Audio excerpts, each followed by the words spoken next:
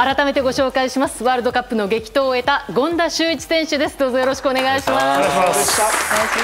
れ様でした。いやでも帰ってきて早々官邸行ったりとか大忙しですよね。正直結構忙しいです。全然 ちょっともゆっくりもしてないです、ね、でも幸せなことなんでもうこれが、はい、これだけ取り上げてもらえることって素晴らしいことなので、うん、ありがとうございます、えー、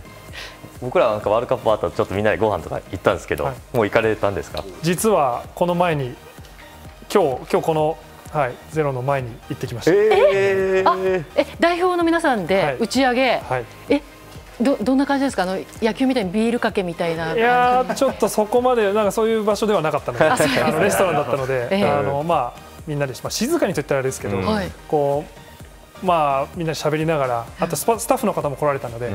みんなとこう、まあ、僕もいろんな方とやっぱお話ししながらすごいいい時間でしたね。どんな話をされるんですか？やっぱあのー、まあまずここ一旦節目なので、うん、あの4年間ありがとうございましたっていう話だったりとか、うん、あとはまあみんなあのー、もうこれからもっと頑張ろうねっていう話とか、やっぱもういろんな話を、特にメディカルスタッフの方とかもたくさん来てたので、実はそういうあの選手コーチだけじゃなくて、うん、本当実は表に出ない方も本当にいろんな方が支えてくださってるので、そういう方にやっぱ感謝をみんなで伝えました。ちなみに何料理なんですか？ちなみに今日はイタリアンでした。イタリアンだったんですか。はい。あのプレイヤー・オブ・ザ・マッチにも選ばれたドイツ戦ですけれども、うん、正直あの25本もシュートを受けると思って想定してましたか？うんまあ想定はしてました。あのぐらいは来ると。はい。それぐらいこう来る可能性はあるな。森保監督があの自分がちょっとと思っても選手たちが絶対僕たちいけます勝てますってずっと言い続けてたと、はい、そのメンタリティーをみんなが持つようにはどうやってなれたんですか？いやもうみんなすごく強気なんですよね。やっぱそれは僕すごく一つの要因は、今海外でプレーしている選手がとても増えていて、僕は今 J リーグの清水エスパルスでプレーしてるんですけど、やっぱ海外でプレーしている選手っていうのはこういう本当ドイツ代表だったりとかスペイン代表の選手との対戦が日常なんですね。日常普段の週末の試合でそういう相手とやる、うん、でそういう選手たちにこうなんか自分たちが劣ってるっていう感覚がまずないんですよ、うん、だからドイツまあ普段試合してるよとか、うん、スペインまあオリンピックの時もやったしとかやっぱそういうこうみんながこうそもそも、まあ、相手をリスペクトすることは大事なんですけど、うん、多分一昔前だとそういう強豪国ってなると、少しこう、まあ、ユニフォーム分けするってことが多分サッカーで言うんですけど、はい、こう最初の時点で気持ちで負けてしまうこともやっぱ正直あるんで、あったんですけどやっぱ今はみんなもえ？だから何？勝てるよっていう感覚でやっぱみんな持てるっていうのは本当みんなの個人個人のそういうやっぱ気持ちのところの強さだったりとか普段本当厳しい中でみんな戦っているのでそういうところが出たのかなと思います、ね、PK になった時はまずどう思われました、まずは本当、まあ、正直落ち着いてやることが大事だなと思いました、うん、PK 戦、これだけの大舞台で PK 戦ってなるとやっぱ気持ちがすごい高ぶってしまうんですよね、うん、ただ、やっぱゴールキーパーって常に冷静でやらなければいけないので、うん、やっぱこの状況で、うん、高ぶりすぎることは高ぶると先に動いちゃうんですよね、こうやっぱ止めなきゃって思うと。それがやっぱチームにとってマイナスなのでやっぱ落ち着いてやることはすごい心がけてはいました、いや確かにあの試合あの PK の前になんか不敵の笑みみたいなのを 浮かべてらっしゃるのが映像で抜かれたんですよ、はい、で、はい、あおすっごい頼もしいと思ったんですけどこの時もそれをじゃあ言い聞かせていた。これは、えっと、実はこの先に息子が座ってたんですよ。あ観客席に。そうなんですよ。すげえ。座ってて、で息子がすごいこうなんか、まあ、引きつった表情じゃないですけども、まあ、緊張してたのでじゃそれでふってなってまあすいませんこれあのそれで止めれなかったんでそれがもしかしたらよくなかったかもしれないですけどでもなんかやっぱ僕自身は、ね、気持ちが強いことも大事ですけどやっぱゴールキーパー常に落ち着いてやることが大事なんで逆にあの状況で自分が、まあ、今本当映像初めて僕が笑ってるの見ましたけど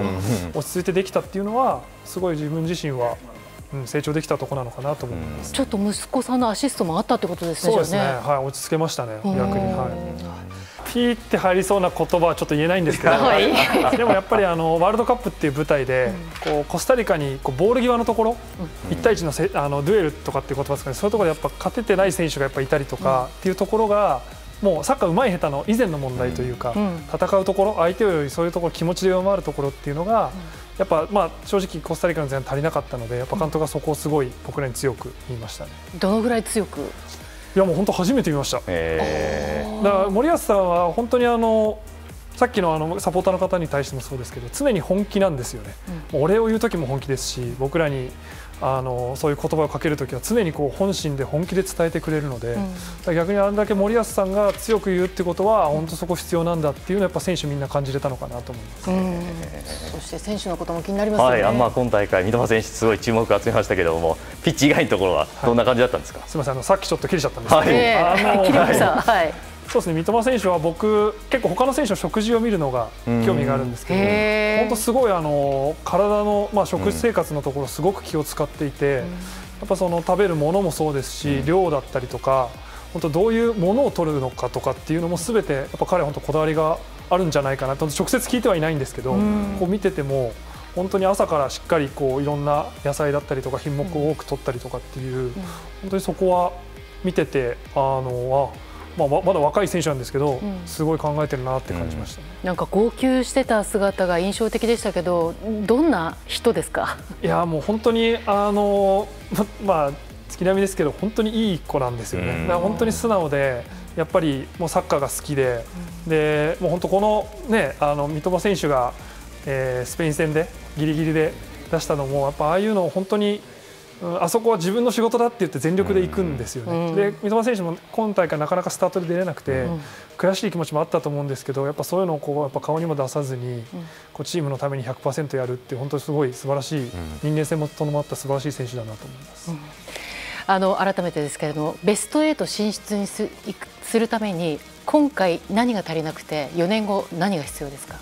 やっぱ今回、僕らはやっぱベスト16の壁を越えるっていうところそこを本当に何よりもテーマに置いてやっていてなので、やっぱ最後あのクロアチア戦の後半の終盤は少しこう前回大会ロシア大会のベルギー戦を踏まえてリスクを冒さないような戦い方をやっぱ選んでしまっていたのかなっていう、こう自然な自然と、やっぱそれがやっぱり僕たちが上に行くためにはそこで相手にとどめを刺すだったりとか、こうまあ、ベルギーに前回大会うちらがやられたようなこうしたたかにいい守備をしながらいい攻撃をするっていうところはすごく今後テーマになってくるかなと思います、うん。うん、その辺の選手たちの成長もまた J リーグなどで私たちもしっかり見させていただこうと思います、はい、本当にあの権田選手お疲れのところ遅い時間までありがとうございました。ありがとうございました。ありがとうございました。お疲れ様でした。日テレスポーツ YouTube チャンネル登録よろしくお願いします